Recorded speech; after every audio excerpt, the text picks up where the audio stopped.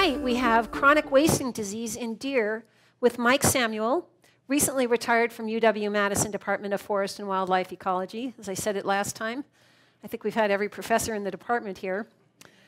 So, Dr. Mike Samuel is a native Californian, and he grew up just a couple of miles from Disneyland in the orange groves. He grew up hiking in the Sierra Nevada and got hooked on outdoor adventures and fishing.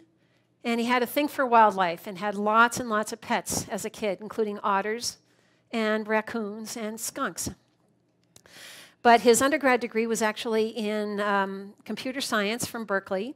He went on to get to UC Davis to get a master's degree, and then on to get another master's degree and PhD from University of Idaho, Idaho studying elk, and learning how to do the statistics necessary for applied um, for assessing wildlife populations. He came to Wisconsin and got involved in wildlife pathology in a co-op unit together with U.S. Geological Survey, Wisconsin DNR, and UW. He started studying chronic wasting disease, or CWD, as you may hear it tonight, in 2002 as it moved into Wisconsin, mostly from the western states and mostly uh, from elk and mule deer. And though not from Wisconsin originally, he's become something of a Northwoods guy, spending time uh, up here fishing and recreating on the Chippewa over in the Hayward area. Okay, so here's your trivia question. Mike Samuel has been all over the world working on wildlife. And he was working on a project in far northern Russia investigating the health of snow geese that sometimes came down with avian cholera. Who knew geese got cholera? I certainly didn't. He was working on Wrangel Island, a large but very remote island off the north coast of Russia in the Chukchi Sea up near the Arctic Ocean.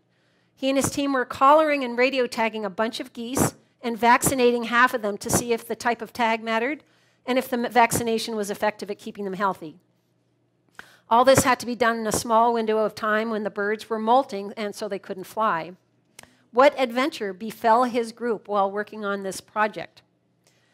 He was stranded for several weeks because the helicopter pilot refused to return and pick him up. B, the plane lost its GPS and landed in Canada instead of Russia, and they ended up studying Canada geese instead of snow geese. I know, it was pretty lame.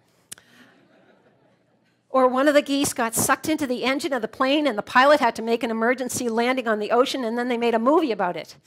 Oh, no, that was the Hudson River, so it was. So he was actually stranded for several weeks on uh, the island waiting for someone to come back and pick him up. Thanks so much to, um, to Michael Samuel. It's all yours.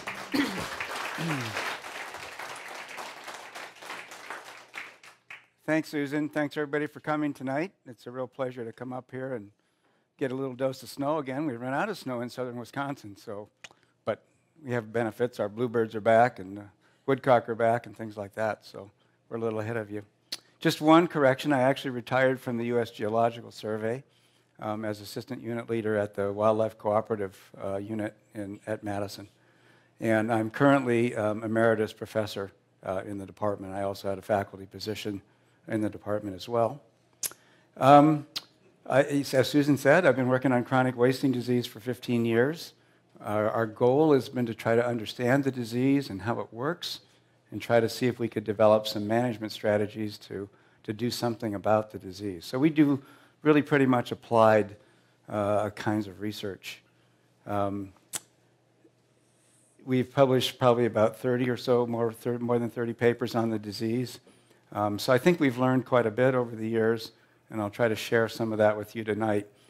Um, there's a wildlife disease class at UW-Madison in which I talk about prion diseases for an hour and I talk about chronic wasting disease for an hour.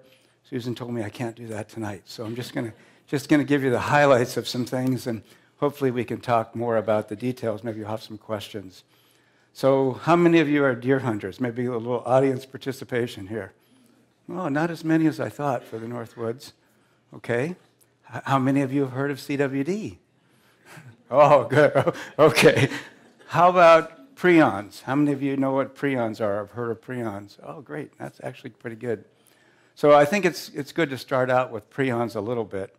Um, prions are a very unusual thing for us disease guys. They're, they're not a virus, they're not a bacteria, they're just a protein. And so it's kind of weird that we have something that's just a protein that causes a disease, but it does. Now, prions, we all have, all mammals have prions, and they have, we have what we call normal prions. And they perform some function in our body that we're not really sure. Science really isn't really sure exactly what they do or why they're there. But we know they're pretty important because there's a sort of a conserved genetic structure that uh, produces them throughout the animal kingdom, pretty much, or mammals. So we know they're important, and we know that they, um, they do things in the body, um, but they don't live very long in the body. They have a very short half life. They get degraded by protease K. They're very readily, readily degraded. Um, and so they just sort of go around and do their thing and then just disappear. That the problem occurs when some of them become misfolded. And when they become misfolded, the body can't get rid of them. In addition to that, they're misfolded in the, in the shape that's very similar to the prions um, that the body has normally. And so they're not recognized as a foreign substance. And the body doesn't do anything to fight against them. There's no immune response or anything like that. So that's sort of then the origin of this disease. But they don't have any DNA and they don't have any RNA. So, how do they replicate themselves? How do they reproduce? How do we get more of them?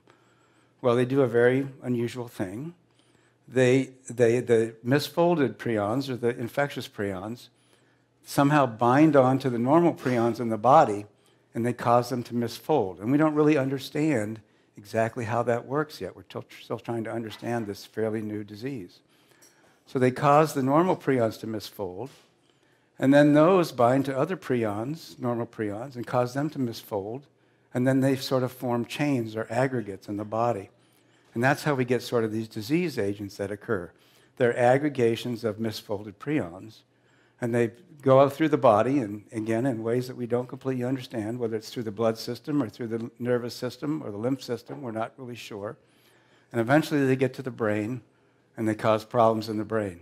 And that's what generates these prion like diseases. Now, prions are the agent of a disease that we call transmissible spongiform encephalopathies.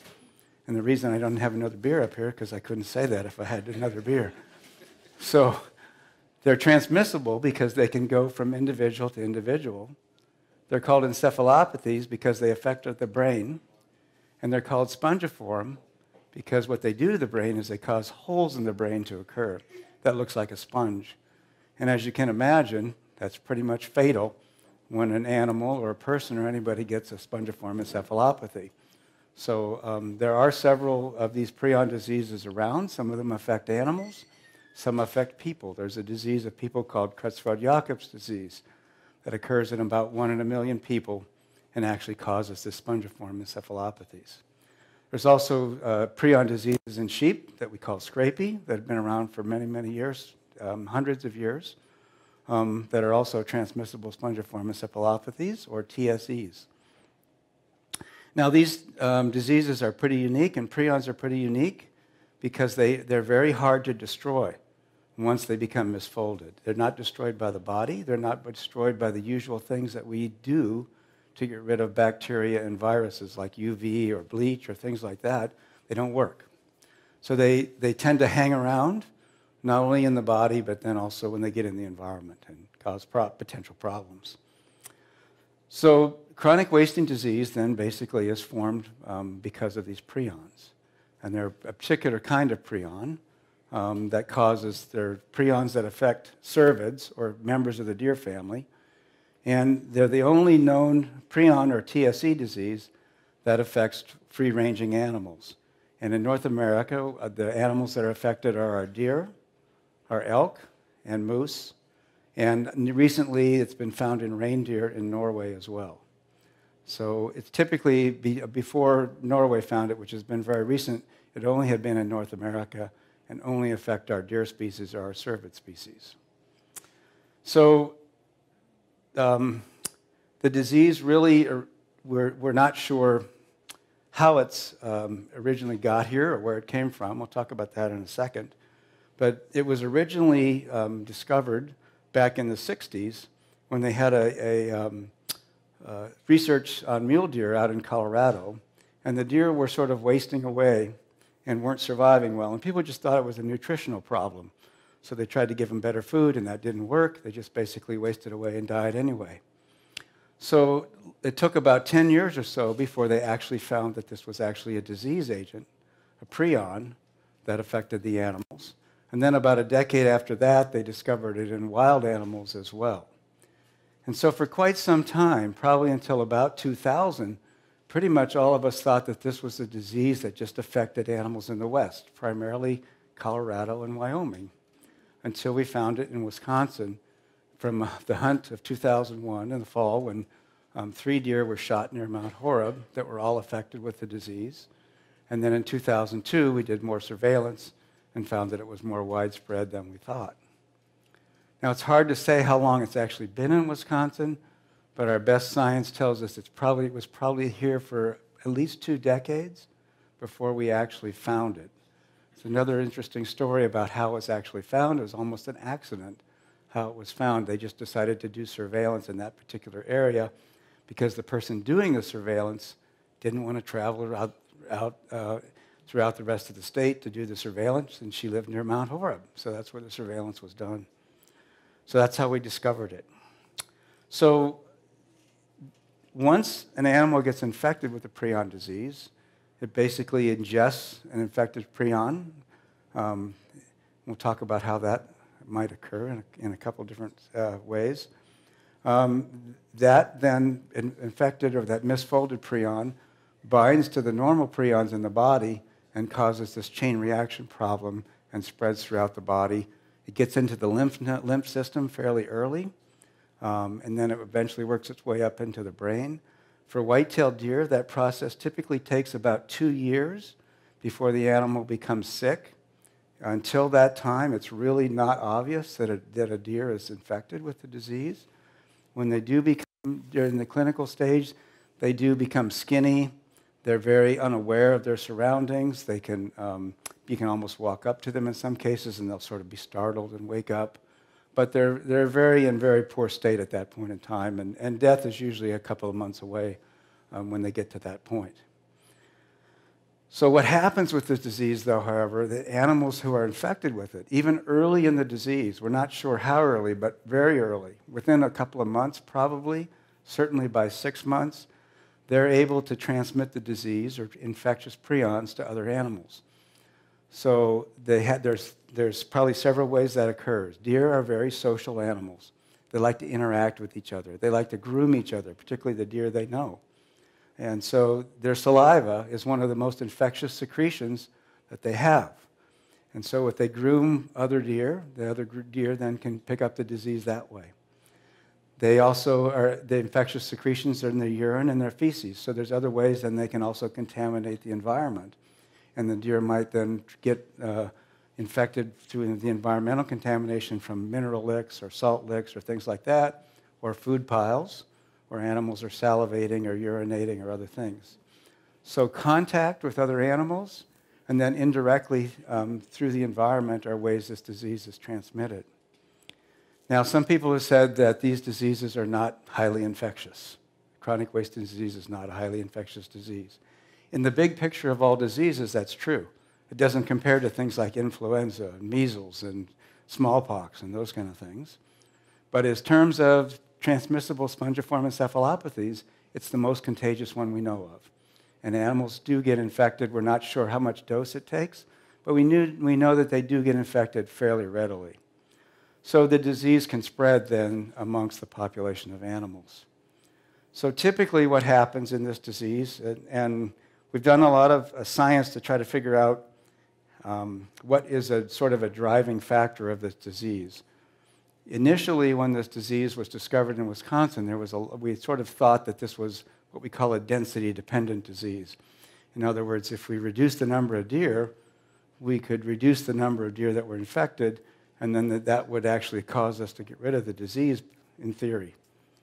And what we've discovered since is it's not really a density dependent disease, it's what we call a frequency dependent disease. And that means that it's not the density of infected deer that drive, the, drive infection, it's actually the prevalence of the disease. So if we double prevalence, let's say from 5% to 10%, then the rate at which new animals get infected doubles as well. And so what happens with the disease is that it starts out really slowly, very low prevalence, maybe get introduced by a few animals. And then the prevalence slowly builds. And then it gets to an acceleration phase because as prevalence increases, the rate of infection increases as well. And that acceleration phase is what we're seeing now in southern Wisconsin, where the, where the disease is continuing to go in prevalence. It's also spreading across the landscape as well. So that acceleration phase then is where we sort of really begin to recognize that problems can occur. Now, we have two different outbreaks in southern Wisconsin. We have one in sort of west of Madison and sort of south central Wisconsin. And there's one that straddles the Illinois border, Wisconsin border, and we sort of point back and forth about who started it, right? But basically, those two outbreaks are growing together. The disease is spreading across the landscape, and they're kind of coalescing. And of course, it's spreading to other parts of the state, too, because um, this is a very difficult disease to manage and control. It's very, a very challenging problem. So, who gets infected? And what, what does that mean? Well, what we know about the disease is that older animals, because they've had longer times of exposure, they're the ones that are most likely to get infected by the disease. So the older males and the older females, for example, they're going to be the ones that are more likely to be infected and have higher prevalence. Younger animals, not so much. Particularly things like fawns and stuff, um, particularly early on in the disease, don't really have any much evidence of infection. So it's older animals, and it's really not because they're more vulnerable, it's just they've had a longer time to actually pick up the disease. So, what else do we know? We know that males get infected at a lot faster rate than females as well. It looks like males get infected at about three to four times the rate that female deer do. And to be honest, we don't have a clue as to why that occurs. There's some theories, we have some ideas, but we don't know for sure the, what we see in prevalence is that males have about twice the prevalence. So you're saying, okay, wait a minute. They get infected at three or four times the rate, but they only have twice the prevalence. What's going on? What's going on is that males die a lot quicker than females do once they get infected. And we're not sure exactly. I mean, there's other things that kill deer when they get infected with disease. It's not always chronic wasting disease. It might be predation. It might be hit by car. It might be pretty severe winters and those kind of things that affect them as well. They're more vulnerable to other, other uh, causes of mortality. It's kind of the best analogy that I've heard is it's kind of like somebody with Alzheimer's disease. People don't typically actually die from Alzheimer's, but they die from complications and other things. And that happens to deer that have chronic wasting disease as well. So, the other thing we know about these diseases, and this is pretty typical of all the TSEs, is there are genetic factors involved as well. So scrapie, if any of you know about scrapie in sheep, anybody? So scrapie is something that has a genetic component to it. There are some genotypes of sheep, and there are some genotypes that are of deer that are more resistant to these prion diseases, to TSE diseases. We don't understand exactly why that is. It has, we think it has to do with the shape of the shape that the prions take in the animals but they seem to be more resistant. But as far as we can tell, there are no genotypes that are immune to it. Everybody gets infected eventually, but some genotypes get infected at a much lower rate.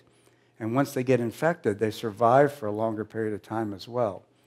And of course, because there's environmental contamination, and that's one of the routes, and direct contact is one of the routes, one of the concerns is well, these, it's, maybe it sounds great that some of these deer are going to live for a longer time, and that is good from a population perspective, but they also might be transmitting disease to other animals for a longer period of time as well. And we don't understand, excuse me, we don't understand how that's going to work very well in the future as probably our population change. So it's another thing that we're trying to learn about with the, with the deer is how the genetics might work and what kind of deer populations we're going to end up in the future. One thing we know is that these genotypes that are, that are resistant or not as susceptible are, very, are fairly rare in the population. They're not in the balance that we would expect um, to occur just naturally. If there was just random mating of deer by genotypes, they're, they're less than abundant than we would expect them to be. So there's concern that there's something else going on with those deer that maybe is not, they're not as fit as the other genotypes would be. And so this may have some long-term implications for where CWD may go in our deer herd.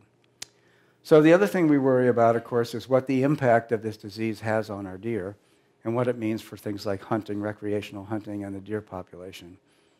So there's been four studies done, completed in the West now, and there's a study that's starting up um, down in southeast or south central Wisconsin this year, the DNR study, to look at the effect of the disease on our deer populations. The four studies in the West um, have all concluded that when CWD gets to a high enough level of prevalence, particularly in the females, because that's the animals, those are the animals that are producing fawns, um, when the pre- prevalence gets high enough, then basically we see reductions in the deer population. So in some of those populations, they've actually had to reduce the amount of hunting pressure that those populations can withstand, and they've actually had to back off quite a bit on hunting of adult, adult bucks in particular, and pretty much in some of the mule deer populations, their trophy animals are pretty much gone. So from a, from a point of sort of view of sort of trying to manage the deer population, from those of us who like to hunt and like to put deer heads on the wall, this disease is doing something that's very, very much antagonistic to that. It's affecting our older animals, and it's affecting our males at a lot higher rate, and it's killing them at a higher rate than it's killing our females as well. So we have some, we have some issues that are coming in the future with this disease as the, as the prevalence continues to increase in southern Wisconsin our predictions are that we're going to see some population impacts just like they've seen in the West. In the West, they've seen this for mule deer, they've seen it for elk, and they've seen it for white-tailed deer. All, all three species have had the same problems as prevalence gets, prevalence gets higher. And so I think this is something we're going to have to eventually figure out how to deal with as well, and I don't think at this point we have any solutions for this disease. Um, I mentioned a while back that it's what we call a frequency-dependent disease. And so, what we want to do to try to manage it is try to reduce prevalence. And that's a very challenging thing to do. Um, one way we could think about reducing is we could go out and capture animals, and we could test them, and we could find the ones that are positive, and we could remove them. Sounds great. Might, be work, might work if you had a captive set of deer. But in free ranging deer, that's uh, very, and particularly the, the density of deer we have, that's very time consuming and probably not very worth, worthwhile. Um, one other idea that's at least surfaced is can we do something about reducing the number of bucks because those are the highest prevalence? And that's probably a, a, a potential biological solution, but it's not very popular um, amongst the hunting public, of which I'm, I'm one of myself. Um, the only people who have really had good success with this disease are New York State and probably, hopefully, um, in northwest Wisconsin, where people seem to have found infection early and been fairly aggressive at trying to remove deer and hopefully getting rid of the transmission cycle and getting rid of, rid of the deer that were positive. So that's the, that's the only successes we've had so far. Otherwise, the pattern seems to be that the disease spreads and the prevalence increases, and eventually we get population impacts um, that occur from the disease. The disease now, although I said in, in 2000 it was really only found in Colorado and Wyoming, we now have it in 25 states in the US, it's been found. Two Canadian provinces. It went to South Korea from Canada. Of course, we gave it to Canada, quite frankly. Um, and, well, they gave us Scrapie, so, you know, it's a trade, a trade-off that we got. Um, and now, now Norway is the foreign country. And I think Norway is still searching for the origin of CWD. And that's one of the questions that people also ask. Where did this come from? Has it been here all along? That's what some people think. This is just, eh, we just now have better ways to test for it. Well, the deer don't act like it's been here all along. The deer have genetic resistance to it, some of them. That's not something that we would see if the disease had been here all along. We see this disease spreading across the landscape from focal points, just like it's a brand new disease, just like it's something that got introduced, not something they've been experienced for a long time. Some people have said, well, maybe it's a spontaneous disease. The human form of TSEs, Creutzfeldt-Jakob's disease, apparently is spontaneous, probably from a genetic mutation. Well, that's a possibility. Where would we expect the disease to be most prevalent if it was a spontaneous disease. If it was spontaneous disease, we might see it to be the most abundant where we have the highest density of deer, because that would be the best chance for it, uh, spontaneous cases to occur. But the biggest deer populations we've had historically are in the southeast. And until Arkansas recently discovered they had the disease, it hasn't occurred in the southeast. It's, been in, it's occurred in low density deer populations in particular out in the west. So it doesn't really fit the pattern very well. It's certainly possible, but it just doesn't seem to fit. Another possibility is that it came from scrapie. So we know, have, have, have any of you heard of mad cow disease in, in England? Okay. Yeah, that's, that's one that got our attention, right? The Canadians, think, lost about $50 billion when they had a few cases of mad cow disease. So it has big, big economic impacts. Um, so there's a lot of evidence to suggest that mad cow disease may be originated from scrapie as well. So, and there's been some studies, there's some evidence that suggests that that is one possibility. People have experimentally fed scrapie to deer and find that they come down with a disease that looks a lot like CWD. So it, it probably will, we'll probably never know for sure where this disease originated from. But um, that seems to be at least sort of one of the more popular theories these days. Um, another thing we talked about a little bit about environmental contamination, particularly with urine and feces. Well, people have recently shown in the lab, and so it has a lot of work yet to do, people have shown that prions can actually be, um, go through the roots of plants and be uptaken to the leaves of plants. So there's potential for agricultural implications from this disease as well. If, for example, um, deer are contaminating the landscape, um, it could get into some agricultural plants. And many of us think that this is sort of maybe where our next big policy issues might come with chronic wasting disease, beyond the deer, the deer population issues, but um, potential for the involvement of the agricultural uh, system as well. So, one question you guys might ask is what, would wolves do about this disease? Got a lot of wolves up here, I think. Last time I heard, anyway, you had quite a few. So, we don't really know. Nobody, we don't have CWD in any area where there are wolf populations. People have done some modeling studies and other things and suggest that potentially wolves might control CWD or might at least have a big impact on it. We would suspect that wolves are pretty good at finding animals that are sick, certainly, so animals that are clinical, but maybe even animals that we can't tell are sick. They're not behaving quite right. So maybe they could remove, they could differentially select some of the infected animals and help reduce prevalence. So that's the suspicion, but we don't really have any data to sort of validate that yet. We know of several of the studies in the West that I mentioned where actually cougar predation was a very major factor in the death of animals that were infected with CWD. Did that help control the disease? It didn't help prevent it. It didn't slow it down a whole lot, as far as we can tell, but maybe it did some. We, didn't, nobody went in and removed all the cougars and then said, okay, what, now what happens? We don't have the experimental data. So it probably had some impact, but probably not a huge impact. Would wolves be different? Potentially. They're a very different kind of predator, not a sit and wait predator, but more of a search coursing predator. So that's certainly possible as well. Another question I think that people always ask about is what about human consumption? So we know, for example, that mad cow went from cows to people. Uh, the chances of that happening were quite rare, but yet the consequences were very serious.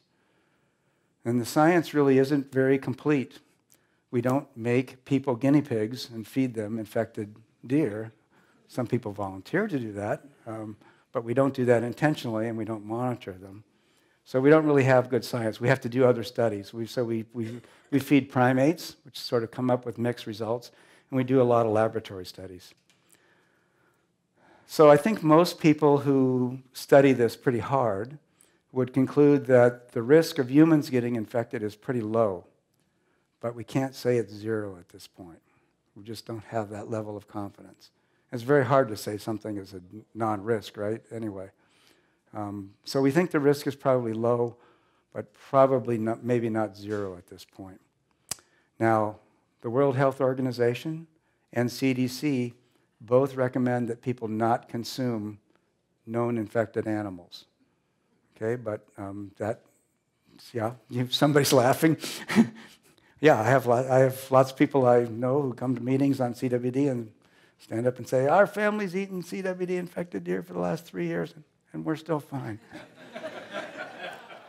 so, um, you know, to be honest, the, the, when the DNR gives people a test back result back positive on their deer, and the people report to them that um, they consumed the deer already. Thanks for letting them know.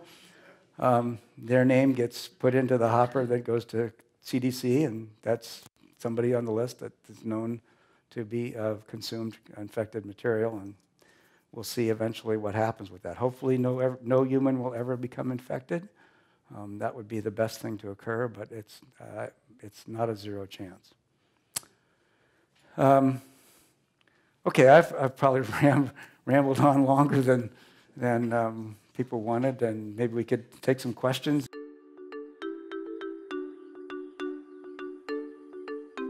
So, as far as functionality of the normally folded protein, have any kind of knockout studies been done? Uh, yes. So, uh, yeah, knockout studies have been done, and the animals that have uh, been knocked out seem to function normally. So, this brings up this mystery of exactly what does this protein do, um, and that's really hotly debated now in, in, in terms of science. I think the other sort of sort of spin-off of that is that um, there's a lot of similarities between this disease, between TSE diseases, and things like Alzheimer's. And so people are looking for potential models that might um, help us understand Alzheimer's as well.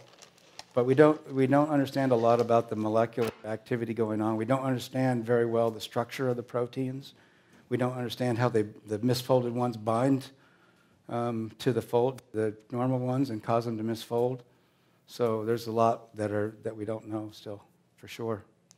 And that, yeah, that, I kind of stay on the ecology side, so I don't I don't probably don't have the latest on that, but that's my that's my sort of understanding now. A question over here. Yeah, um, one of the first deer farms that they found um, CWD on has now been bought by the state or the DNR, and it's being used as a test plot or test land. I think, kind of as a basis. Um, and it's there's a how long do prions live if they live in the soil, you were talking about coming up through a plant. Okay, how long do they live in the soil? And is there any been any random sampling of soil in non-CWD areas to see if these proteins exist there? So we don't have great information about how long CWD prions live in the environment. There's been some laboratory work done that suggests that they uh, get degraded slowly with things like weathering and rain and those kind of things. We know that, they, that scrapie prions, which is probably a pretty good model, live in the environment for at least 16 years. People have removed sheep from scrapie infected areas, brought them back 16 years later, and they became infected again. We know in Canada, for example, that people, people who have deer farms have gone through quarantine periods of five years or more, brought animals back in, and they've become infected. So we, we know it's fairly long lived, um, but we don't really know like what the rate of decay is and those kind of things. The particular farm that you mentioned, the Hall Farm, is I think the one, yeah. Um, yeah, the state bought the farm on that one for sure. um, as far as I know, it's still sitting idle. It's the, the reason they bought it was because the owners threatened to tear the fence down um, if they didn't buy it. That was sort of the, the hook um, that was told. Um, and so they, there's been talk since, since then of doing some kind of experimental studies there, but, but nothing has really been done. The DNR kept telling many of us, well, you guys should do experimental studies here and you should go find the resources to do it. And we kept saying, wait a minute, this is your property. Don't you have invest some investment? Maybe if you fund the research, maybe we could do something. But, um, but anyway, as far as I know, it's still sitting there, um, just being sort of guarded, if you will. Yeah, you had a follow up? Yeah. Is that, sorry, Carol, is that the DNR's farm or the state of Wisconsin's farm? Oh, that's a good question. We're looking at two different pocketbooks there. Yeah. My understanding is this DNRs, but I, I, I, I don't really know the answer to that for sure, to be honest with you. The legal, the legal side, I don't know. I had two things. Um, You were talking about a knockout study. I don't understand what that is. And the Uh-huh. other question is, if these prions are in the soil or, and you grow plants there and then people eat them, could they get it? So um, knockout studies basically refer to uh, animals where the production of prions is removed, genetically removed. And so they don't have any prions in their body, basically, is what's referred to. And they seem to live fairly normal kinds of lives, and they don't get in- infected by prion diseases. It was sort of one of the proofs that prion diseases were this protein and not something like a slow virus or other things that people have hypothesized. Um, and sorry, the second part of your question was? Ah, yeah. So there's a, we, there's a concept we call the species barrier with prion diseases in particular. Um, and we don't understand it very well. So what it means is when a prion disease jumps from one species to a new species. So mad cow disease that went from cows to people um, jumped the species barrier.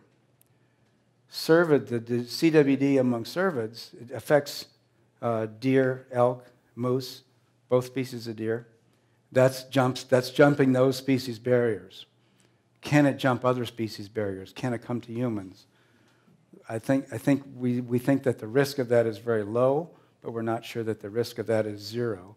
And it wouldn't be different, as far as we know, it would not be different if it was in plants or animal tissue. So, the, the thing that worries us about these species barriers is that we understand very little about them. So, for example, if you take prions from mule deer um, and you try to put them into hamsters, hamsters don't get sick. If you take the same prions from mule deer and you put them into ferrets, the ferrets get sick. And if you take the material, the brain material from the ferrets, and you put it back into guinea pigs, the guinea pigs get sick now.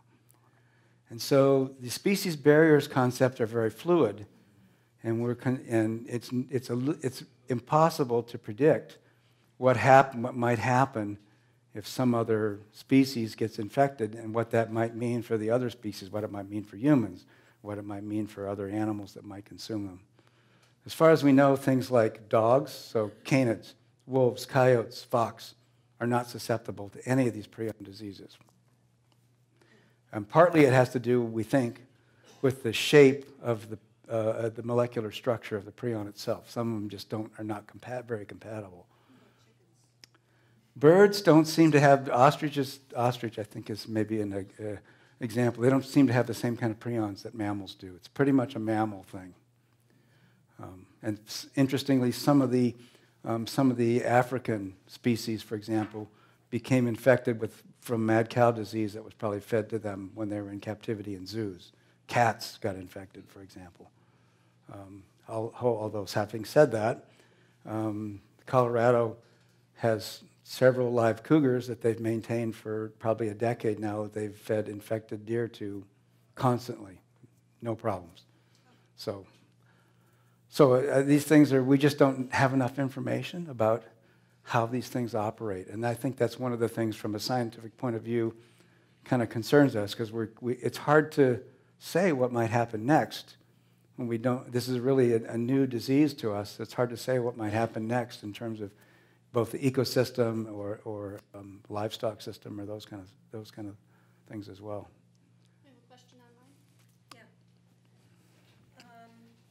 In your opinion, our wild, uh, is our wild deer herd better served if we eliminate captive deer herds? And how close are we to being able to test a live deer for CWD? So um, I'm going to start with the second question first. Uh, we can test live deer. It's not easy. The, the best test we have is basically on dead animals. Um, the lymph nodes seem to be, lymph nodes at brain material are the best tests we currently have. So if you harvest a deer and it's tested, um, typically what they'll do is they'll take out what are called the retropharyngeal lymph nodes, which are the ones that are right here. If you get a cold or something, feel underneath your jaw. And when those things get swollen up, that's, that's your retropharyngeal lymph nodes. Pull those out of deer, and they're probably infected um, within maybe four to six months. So fairly early in the cycle.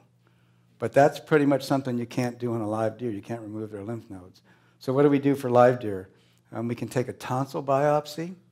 So you reach down their throat and pull off a piece of their tonsil. If you get enough of the tonsil, then you can look at it under a microscope and see if they're infected.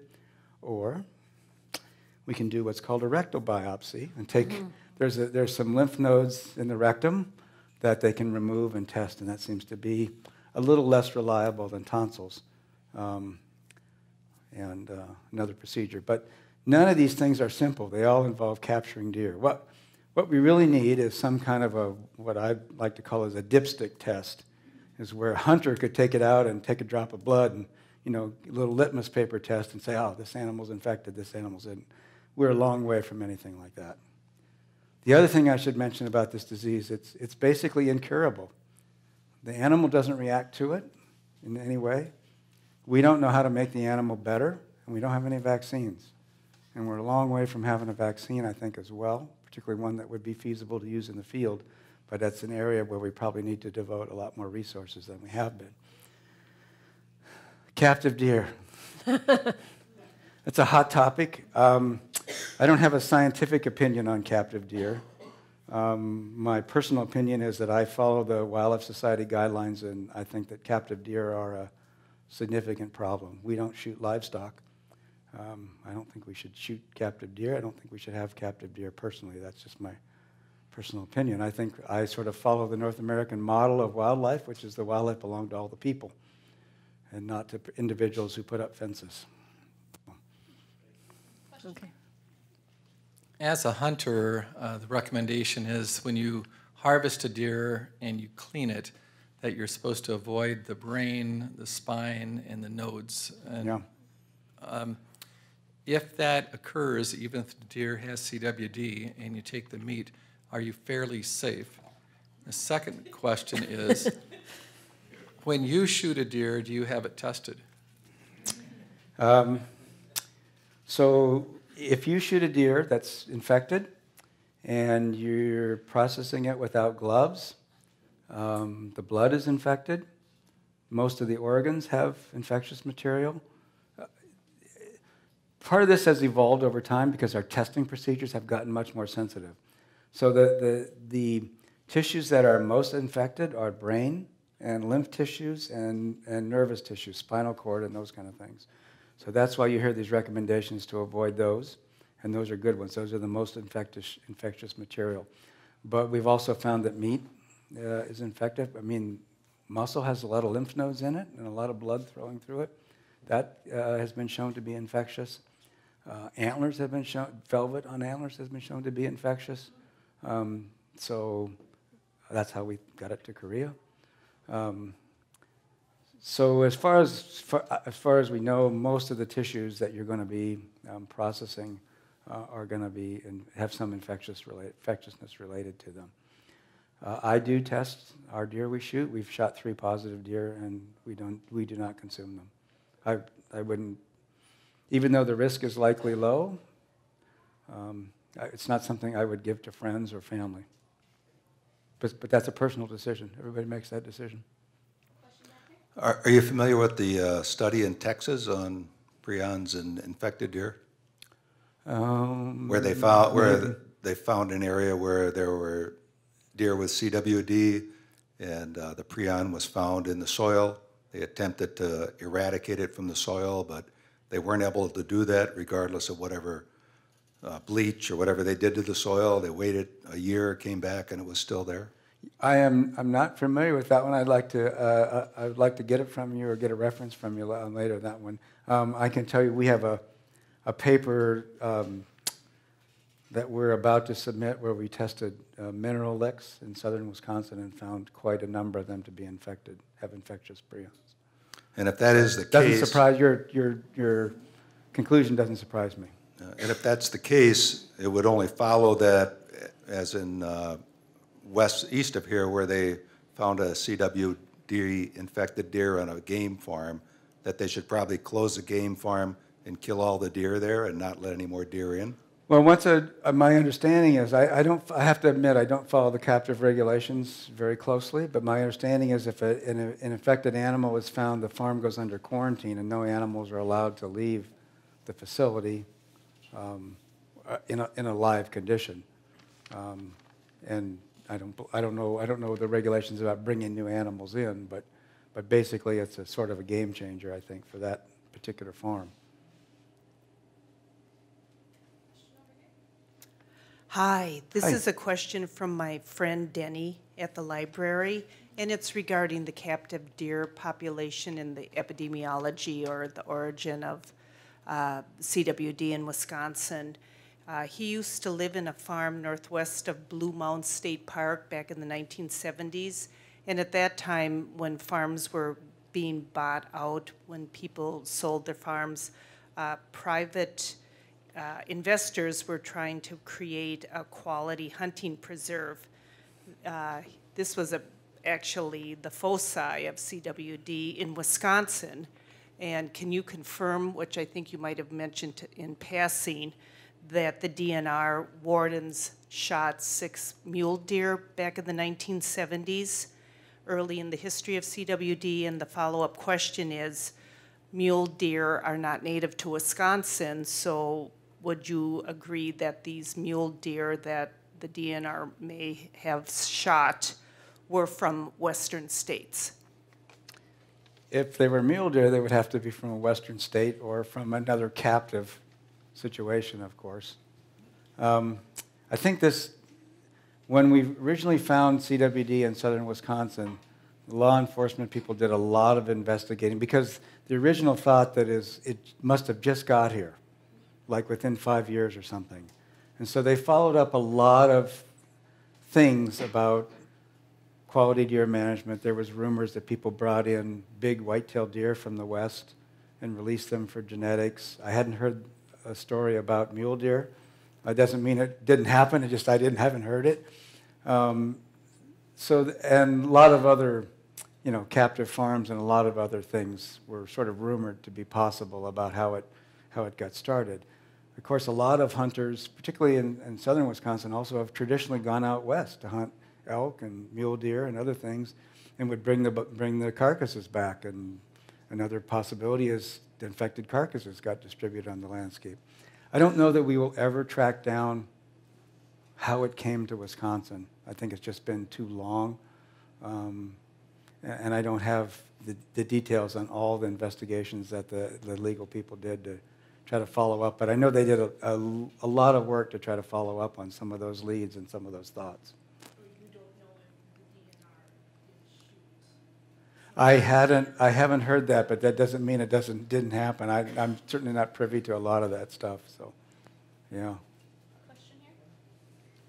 How hopeful you- are you for the uh, future that we may be able to manage dis- this disease in the next, I don't know, 10, 20 years? Or are you preparing the public to become accustomed for the state of Wisconsin to have relatively low deer population for years to come? Unless we can find a silver bullet, I think it's going to be tough. So a silver bullet like a vaccine that we can easily distribute or something like that.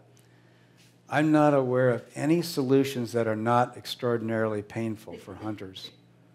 Um, and that's why, you know, it's been very hard to get the hunting public to, to buy into doing something about CWD. And so the, the problem, as I see it, is we have a long-term problem of we're either going to have to figure out how to control this disease and how to manage it, or it's going to begin to affect our deer herds, and we're going, we're going to have some pain on the hunting side that, in, that respect as well. We're going to have a lot of infected deer on the landscape. We think that probably within five years or a little much longer, we're going to have most of the areas in southern Wisconsin where, it's, where it sort of originated, what we call the core area, where we're going to hit probably prevalences of 40 to 50 percent in males. We have some areas now in Iowa County that have gotten to that stage already, and probably 25 to 30 percent in females. And at that point, we're going to begin to see impacts on the herd. And then most of the animals that people are going to be shooting are going to be infected, and you have to make these decisions about Do you ignore that? Do you consume it? What do you do? Um, the, the problem, I think, is that I'm not aware of any biological solution that's easy. Everybody would like to see this sort of just go away, but nobody wants to sort of pay the price. Um, the biology says that if we can reduce adult bucks and older, bu- older, older bucks dramatically, that we can bring prevalence down, and then that brings the infection rate down. And if we do that consistently, we can eventually bring prevalence down to a manageable level. Because this seems to be what we call a frequency dependent disease, it doesn't look like we will ever completely get rid of it. We're going to have to learn to live with some level of it. The question is how much we want to live with and what we're willing to pay to get to that level. Um, and how big a deal having infected animals on the landscape is. So I'm, I have to be honest, uh, given the, the climate, I think in terms of you know, wanting to do something, I'm not real optimistic um, uh, in terms of managing this disease in Wisconsin, southern Wisconsin in particular. My optimism is right now that many states who have sort of ignored this problem for a while and hoped it would go away are now beginning to realize it's not going to go away and it's going to be a big problem. And so there's a lot more momentum in places like Montana and Wyoming and, and Arkansas and Missouri and Michigan. And maybe they can get some momentum. We had a, we had a national plan for this disease um, in 2002 when it was discovered east of the Mississippi River. And that sort of national plan has sort of evaporated. And if we could re-initiate that, we could probably make some more progress on maybe finding some other solutions or finding other ways to combat the disease. What I tell, so I was just in Minnesota a few weeks ago. They've found now an, a, a, sort of a new area where they have it. Looks like it actually came from Iowa rather than, than Wisconsin, maybe. Um, I encourage them to, you, you have got a, just a few animals that are, that are potentially infected now. Be very aggressive about trying to take care of this. It seems to be in a small area. Deer are a renewable resource. We know how to have more deer. We just back off on hunting for a few years. And we can have lots more deer. So if, can, if they can get rid of that disease, it may be only for a while, because it may come in from Wisconsin and Iowa again. At least they can keep it from becoming established. And once it gets established, it's, it's, it's just really difficult. Uh, I don't know if I answered your question or not.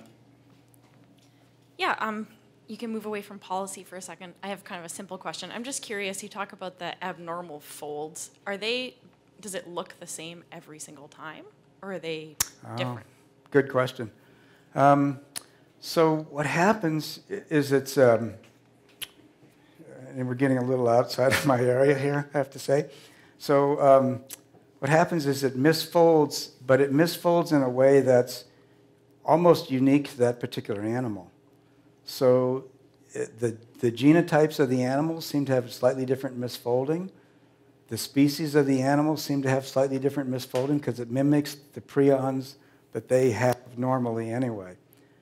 And so they're all slightly, they're, they're somewhat different, but they still have enough similarity that if we give mule deer prions to white-tailed deer, they still get infected. If we give the GG genotype of white-tailed deer to the GS genotype, they still get infected. So they're slightly different, but there's enough. It has to, we think, people think it has to do with how much difference there is in the shape of the molecule and then some of the pieces of the molecule and how they might bind together, but not very, not real, not real lot of information on that yet. Did that, that help at all? Okay. What will the importation of elk, which is a big movement in Wisconsin, what will that do to the spread of this disease? Well, we know that elk are susceptible. Elk have a very long incubation period, so it takes a long time for elk to get the disease. Um, we know that also, um, so they're, they're, they operate, we think on the scale of who gets infected the fastest, we think white-tailed deer are probably the most affected. We think mule deer are sort of in, in between, close to white-tailed deer, and then elk are sort of on the other end. They, they don't, the, their tissues don't show up. I mentioned the retropharyngeal lymph nodes as tissues. They seem to not always be consistent in elk. And white-tailed deer, it's like bang on. You just test, test a lymph node and you, you know that that animal's infected or not. elk is a different scenario. They live a lot longer with the disease. We don't know, I don't think we understand why. Um, the other thing about elk is that elk are a very long-lived species, a low reproductive species, right? A, a, cow might only have one calf a year if she's, if she's lucky. Um, maybe only half the cows will have a calf that survives to the next fall kind of thing. So it doesn't take as much infection in an elk population, and the mortality eventually then happens as well. This is what people in Rocky Mountain National Park have found before those populations begin to be affected as well. And of course, they can also spread the disease to deer. So um, that's happened in Arkansas, it's happened in, in the West as well. So it's a, it's a different biology, it's a different life history for that critter, but they're all affected as well. They have a different set of genotypes that have these resistant and susceptible genotypes as well. I'm, I'm not sure I answered your question, though. Did? Oh, okay. A question online? Yeah, this is a kind of a kind of partly answered this another policy question. If you were asked to give the Wisconsin DNR your best opinion on what they can do to limit the spread of CWD, what would be the top three things you would tell them? Hmm. I've already told them. you can tell how much they listen. so, in my opinion, um, the ways we, we need, what we need to do to combat these, three things we need to do to combat this disease. One, if we find new spots, we need to get rid of them. Okay? Two, we need to reduce prevalence of the disease. And the only way biologically that I know how to do that at this point is to hammer the males really hard. And, and to a degree that's not acceptable to most hunters. It means we'd have few trophy animals out there. And the third thing we need to do is try to reduce the spread. So we can do two things to try to reduce the spread, and they can complement each other or they can be done separately. Um, pretty much, we think that the disease is spread by dispersing animals. And the biggest dispersing class of animals is the yearling bucks. We have, and as the prevalence grows, the other thing that's happened is we get more and more of those dispersing bucks that are infected. So what we've done is we allow prevalence to grow. We've also increased the rate at which the disease is spreading across the landscape. So if we reduce prevalence, we help reduce the number of dispersing bucks, yearling bucks, that are moving the disease across the landscape. If we also reduce the density of deer, and this is where I think maybe what Wisconsin DNR did early on was probably a good thing. If we reduce the density of deer, we reduce the number of dispersing bucks that there are. And so we reduce the rate at which those animals are dispersing. So those are the, the three things, the three goals I would try to have. Mm-hmm. A question here? Okay, you said something about um, if you cut down the deer population, that they're a renewable source. So like you're going to start fresh, but if it's in the soil, won't those new deer get it? This is the, this is the real problem with um, letting the disease get established. So I, I think I think we don't. So I talked about direct and indirect transmission. So contact transmission and through the environment. And I don't think we have a good handle on the science for that yet. How much is important when during the course of an outbreak. But what I've seen um, in the outbreak in southern Wisconsin makes me think that early in the process, contact transmission is probably the dominant way that animals are becoming infected. And as then the prevalence builds up, we get more and more environmental contamination. We get hotspots in the environment, like mineral licks or feeding areas or things like that. And then the environmental route begins to become more important. And maybe at some point there's a crossover where the environment is, becomes the dominant means of transmission. We, we don't really understand that particularly in wild deer. It's something we need to try to work out. So when I say they're renewable and we get rid of them, I'm trying really talking about an early, early outbreak where we could, where we may just have a small cluster of animals that are infected. So like New York, or like in uh, northwest Wisconsin, where they only found one animal, keep your fingers crossed, um, that was infected so far. You can go in and remove animals in that area, in that, this disease tends to start very locally which makes it very hard to detect on the landscape. Sometimes by the time we detect it, it's like it was in southern Wisconsin. It's already been there 20 years and we've got 5% prevalence in animals. If you can detect it early, then you can be aggressive and remove deer in a local area, those deer will eventually move in from outside and repopulate, hopefully before you get an environmental um, reservoir set up. I think I missed something somewhere. You It's could probably have- I missed it. You could have these folded prions in certain species, animals, that don't, and they don't have CWD. So what is it, how do you detect that they have CWD then, if they have these folded protons, uh, uh, prions? Well, if they, if, so you mean they have the folded, um, the misfolded prions, but they're not yet sick? Or what do you mean they're not infected? Well, all right. You're saying that they can have these, you know, folded prions Yeah, and not be sick. yeah, okay. So, okay, so how do you, so what tells you they have CWD then? We have to test their tissues. Because as they don't, so th- what we say is there's a long incubation period. So the animals have misfolded prions in their bodies, which are begin to circulate through their system. And they're not going to get sick until it actually gets into their brain, and actually until it gets fairly advanced in their brain. And so then, when their, their brain can't function anymore, they can't drink appropriately, they can't eat appropriately, they can't recognize what's going on in their environment. They lose weight, they get skinny. Um, and so that doesn't happen until, in, in white-tailed deer, that doesn't happen until almost two years on average be, since the time they got infected. So for all that time in between, 18 months, 20 months, you'd never know. And most hunters who shoot them will say, this deer was healthy, I don't care what you say, it wasn't infected with CWD. Well, yes, it was infected. The, the, the tissues that we sampled show that it was actually infected with the prions. It just hadn't had it long enough to get to the brain yet and cause it to act abnormally.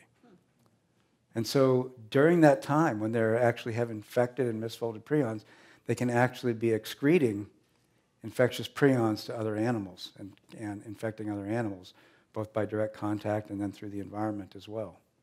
And that's where we get into the rub. They're, we don't wait till they're not. They don't just shed and and transmit disease when they get clinical. They're uh, probably very very early um, in the in the in the after they become um, infected with the prions. They start shedding. At least six months, and probably a lot earlier than that. One more question. Who's paying these people? Um, Now, mad cow disease is similar, right? And people have gotten mad cow from cows. Do the people have the same types of, you know, is, do you see the same thing in people that you see in cows? And did they get it just from eating the meat? So, um, mad cow disease is one of the good examples of what we call a food chain TSE. It goes through the food chain, right? So, people got infected by eating uh, uh, infected beef. And in particular, I think what, most people think is they got infected by eating um, things that were nervous tissue and other things like that that were used in, were very popular in meat pies and things like that in, in England. And so that's more, a, more an a source of more infectious material. But the way they solved mad cow was they stopped feeding protein, animal protein, to cows. They were feeding animal protein to cows to supplement their diet. And that's how we got mad cow disease into the cows. And so once they cut that link, that's why if you see the regulations for feeding, for feeding animals, for feeding livestock, you can't use protein, you can't use anim- other animal protein, even if it's rendered, because rendering doesn't get rid of prions. Even if it's rendered, you can't feed that kind of protein to livestock, particularly to cows. I'm not sure about sheep and those kind of things. But so, so that's how people got it. They got it through infectious material from cows before it was recognized that that's what was going on. We think the risk, so there's another disease I mentioned called Creutzfeldt-Jakob's disease, which is called CJD. It occurs at about one in a million people. The problem with the people who got infected with mad cow disease, we now call that variant CJD because it's a little different. What happened with those is that younger people, people in their 20s and 30s, started getting infected with what would look like Creutzfeldt-Jakob's disease, which is typically an old age disease. It typically doesn't happen until people are in their 60s and 70s. If those young people hadn't gotten infected, it may have taken much longer to recognize that what the problem was going on. Because if you look at the data, the risk of people getting infected who they think consumed a lot of material is still only about one in a million. So it's very rare. About 200 and some people have died from variant Creutzfeldt-Jakob disease, but millions were exposed. And it's only one particular genotype, the methionine methionine genotype of humans who actually ever became ill with variant CJD. So this one of the things that the human medical people are concerned about is if there are long, if there are different incubation periods in different human genotypes, will they see other cases of variant CJD later in the future? It's something they're monitoring, particularly in the UK, um, and has lots of lots of implications on the medical side for that. So it was very difficult to recognize because it was very rare, but the way they found it, it was it happens in, happened in younger people, and the, the, the prion itself was somewhat different in its presentation molecularly and things like that. And there was about an eight-year, just one follow-up, one more thing. There was about an eight-year period between when mad cow peaked in cows and when variant CJD started to occur in humans. So they think the incubation period in humans for that was about eight years, to give you just some rough idea. a question here? Oops, sorry. Blinded by the lights. you mentioned that the North American continent and Norway both have CWD. Is there any established pattern or anything in common that has been found yet as to between both? I, I don't know too much about the Norway situation. I had some correspondence with someone recently, and this is something they're trying to figure out. Um, so their main hypotheses um, are related to people using uh, scent lures, urine scent lures in Norway. Um, I think they don't view scrapie as being a very high risk. They're concerned about it being spontaneous. I can't remember. It seemed like there was something else they were thinking about. But this is something they're trying to actively investigate and figure out as well. So hopefully we will know that in a few years. But yeah, we, all of us were very surprised. if you can imagine it, so the Canadians um, are very concerned about uh, C- CWD getting into to caribou herds. And um, it's, it's been shown in the lab, in, in, not in in pen studies that caribou slash reindeer are highly susceptible to CWD. And so you can imagine a contact, a disease that's spread by contact. There isn't another species in North America that's more gregarious than caribou. And so one could imagine that this could have pretty devastating impacts on the caribou herd in Canada, um, which has a lot of implications for their native people, for subsistence and those kind of things as well. So far, it's not quite far north enough in Canada to um, be uh, exposing the caribou, but it's something they're, they're keeping an eye on. Did, did, I get did I get your answer, question? Yeah, if nothing if nothing changes, how much time do you think we have in northern Wisconsin before this disease will be a limiting factor on our deer population? Quite a while. Um, I mean, it hasn't even gotten here yet, as far as we know. And the, the typical trajectory, as I said, is very low prevalence for quite a long period of time before it gets to ramp up. You, may, you have wolves on your side. Um, you have different habitat. Deer do different things here. Um, I've seen, interestingly, I've seen some anecdotal data from the West where they had some very severe winters. So, that, I mean, their animals are moving long distance from migration from summer to winter range, and they get some pretty severe winters. So they've had some winters where they lost a lot of animals, but they differentially lost animals that it, it appears, I should, I should be clear here, it appears that they lost animals differentially that were infected with CWD because after those hard winters, their CWD prevalence dropped like precipitously and then started to climb again. So, you know, that may be on your side as well. You may have severe enough winters that it's taking some of those animals out of the population. So it may not, it may not operate as fast here as it does in, in southern Wisconsin. But in, in any case, I would say in the beginning, it's likely to be, be rather slow. So not in, not in our lifetime.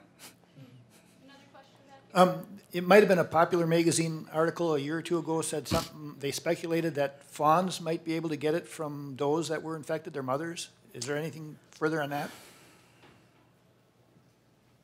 I don't have the latest on that. This has been something that's been talked about. There's, um, whether so um, so in sheep, scrapie is typically can be passed readily from the dam to the ewe, or the ewe to the to the lamb. Sorry.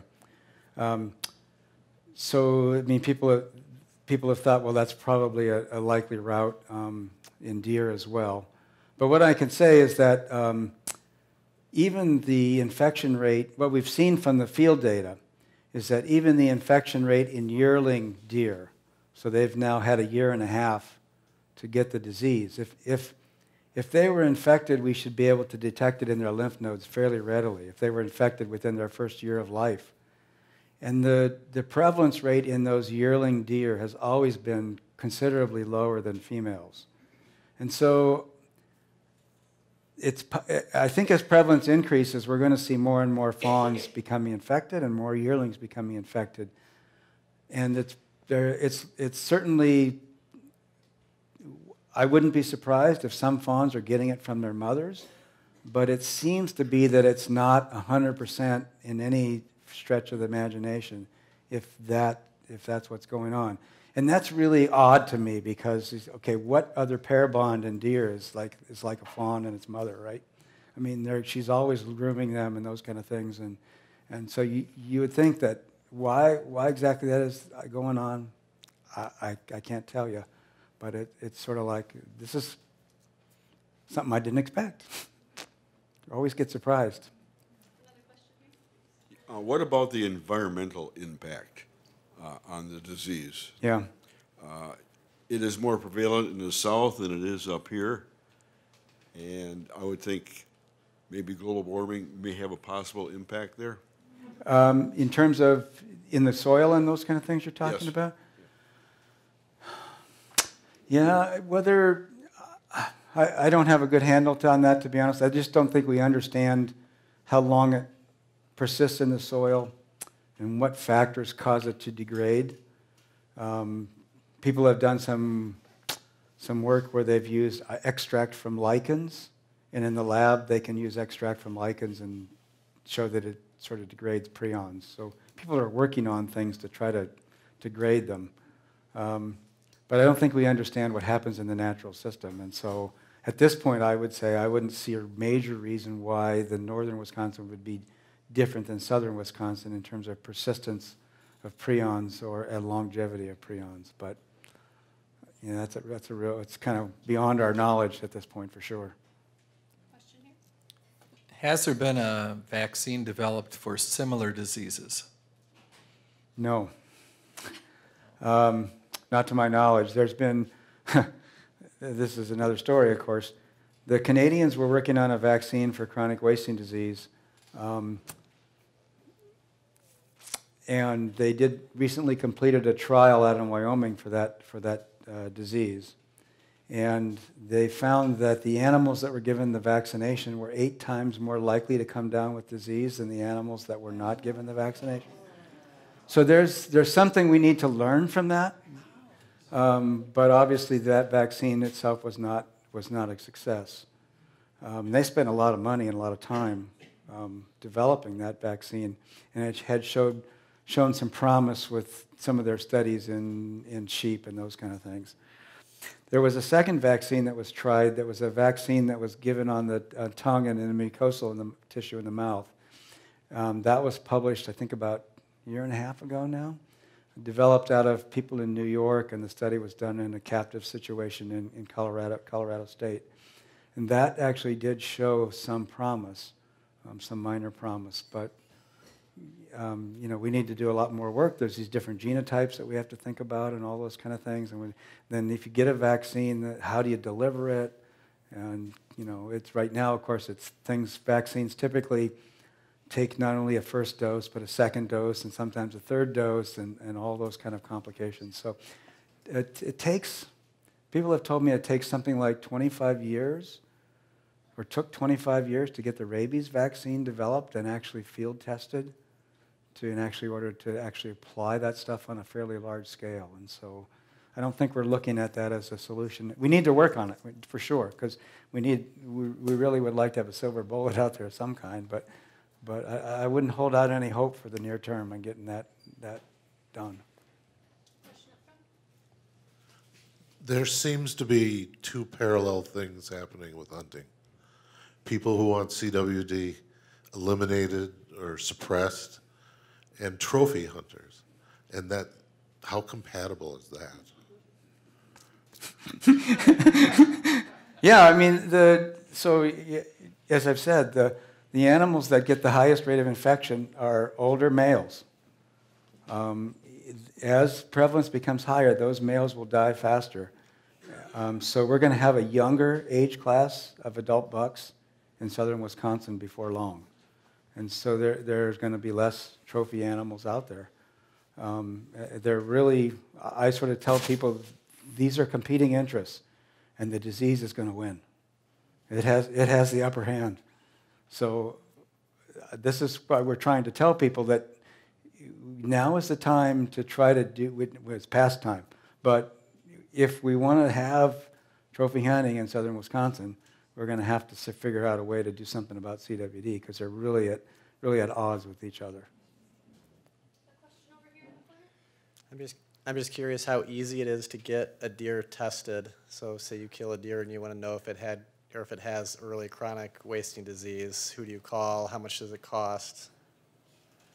The, uh, the policy, as I understand it, um, is that if any hunter wants a deer tested, the DNR will do it. Um, up here, I don't know how practical it is. They may tell you, uh, yeah, you can have it tested, but drive it down to Madison. Um, the, so that's, that's free of charge, um, and that's, that's been their policy for a while. I think, personally, I would say if you're shooting a deer up here, there probably isn't a real strong reason to have it tested. Um, what the state is sort of doing to try to look for chronic wasting diseases. They're, um, we, we call it targeted surveillance. They're actually relying on you folks and other people that when you see a sick animal on the landscape, to call them and they'll come and get it and then they'll test it. And that's a good way of finding CWD because you're finding basically the clinical cases. So, in, anyway, in theory, to answer your question, in theory, they should test it, but up here you might have a hard time getting that done. Now, they did this last year, they did actually try a new experiment where they mailed out kits to hunters. That 50 hunters got kits where the hunters could remove the lymph nodes themselves and send it in for testing. And so if you could get into that uh, pool, that would be another easy way to do it as well. But again, I think that's mostly geared towards where we know we have the disease already. Nor Northern Illinois um, has been using culling uh, to try to eradicate or control the disease. Are you familiar with their results? I'm familiar with some of them. So we just published a paper. Um, let me back up a little bit. There's been several papers coming out of Illinois comparing Wisconsin and Illinois. Um, the problem with comparing two, C, two different CWD outbreaks is that you have to be very careful where you draw a boundary on the landscape. If I draw, uh, if I say, what's the CWD prevalence in Wisconsin, it's probably less than a tenth of a percent of all the deer in Wisconsin. But if I say, what's the CWD prevalence in the core area in south central Wisconsin, it's more like six or seven percent, maybe higher. So where you draw that boundary is a key part of that process. In my opinion, the people in Illinois who said that Illinois was doing a better job than Wisconsin drew a different boundary than was reasonable. So we just published a paper comparing um, the infection rate and the prevalence rate from what we think is a comparable area, what we call the core area from Illinois, where it, we think it probably started and is most comparable to our core area in southern Wisconsin. And if you compare those two sets of data, their prevalences are equivalent to ours, and their infection rates are basically equivalent to ours. Now, that was data that ended in about 2011, and I don't know, I haven't kept enough track of those small areas in Illinois to tell you what's happened since then, where their prevalence has continued to increase. One thing I would say is that their, their efforts to go after hotspots on the landscape, if you think about it in the big context of prevalence, they're reducing prevalence at the small scale, which is probably a good thing to do. The other thing they're doing is they're reducing deer density, which probably then helps this issue with spread. But they still have spread of the disease as well. So whether we can tackle those, those things very easily is, is real questionable. So I'm fairly skeptical of some of the claims that sharpshooting has been the panacea that sometimes I've seen in the literature. So um, the molecular biology. You're getting, you're getting way out of my subject here. the, the genes or the proteins across these different mammalian species, what degree of relatedness or homology? And are we talking about monomers, dimers, trimers? Sorry, Um, you're- you're way out of my league on this one. I, I used to go to the molecular people's talks, and I would just go, oh. I'm, I'm sorry, I, I, I really, people are looking at those kind of things, but I, I, it's, they're way smarter than me.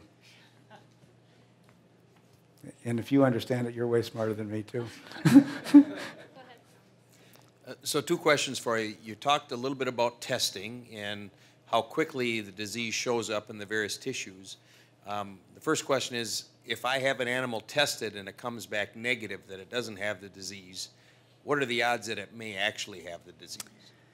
Well, there's, like I said, there's, there's probably a window there before, again, assuming we're testing the retropharyngeal lymph nodes, which is the easiest and earliest tissue that we know of and most consistent.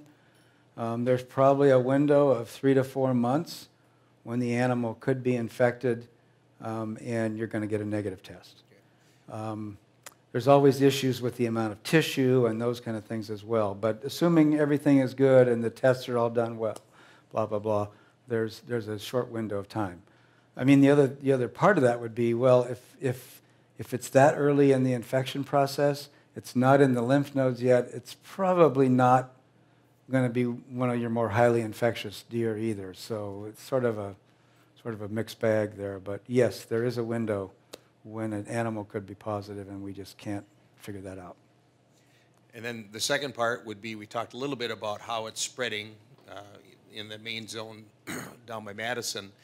You talked about the dispersal of the yearling bucks.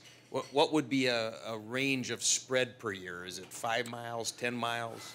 We, we, there's a, there's a study being done right now to, it's a very difficult question because what we're trying to look at, we have a, you have, think about this as a distribution of a disease on the landscape. And it looks like, kind of looks like a big mound, right? And maybe a big gravel pile where it's piled up in the middle and sort of spreads out. What we're trying to figure out is how fast that tail is spreading. And there's not much data in that tail, right? So it's really hard to figure out. I mean, if you have, you know, uh, you may test an area here where you have less than 1% prevalence in that tail, and you may move five miles away. You can't test enough animals to, to show that it's really different, right? Typically. And so that's a really, really tough question to answer. There's some people now who are working on some what they call dispersion models, sort of trying to figure out some of those things. And I have not seen their results yet. Hopefully, they'll get some information on that. We did some very simple things um, in one of our papers where we tried to look at what our best guesstimate is when different places on the landscape might have gotten initially infected, and then looked at the distance between those and used that to try to measure the rate of spread. And what we found is that it was about, oh, about a mile per year, but I'm guessing that that's probably only applies to very, ear very early on in the disease. And that as the disease has grown in prevalence, that, that probably that rate, my guess, no data, that guess is that rate of spread has probably increased. One of the th other things we see with the, with the rate of spread is that um, highways and rivers um, to actually tend to be a little bit of a barrier. They're not enough of a barrier to stop the disease, but they're a barrier to gene flow of deer, so deer don't survive very well, quite as well as they disperse, try to disperse across a big highway like 9094 down to between Madison and Chicago. or they don't do so well across some of the rivers as well. And that seems to prevent or, or reduce, it doesn't prevent, sort of reduces a bit the rate at which the disease spreads. So if you look at where the disease is spreading, sometimes it kind of parallels and, and spreads north and south along some of those river and, and highway corridors, which sort of, again, sort of fits this pattern of, of just being dispersed by, by uh, or being moved by dispersing animals.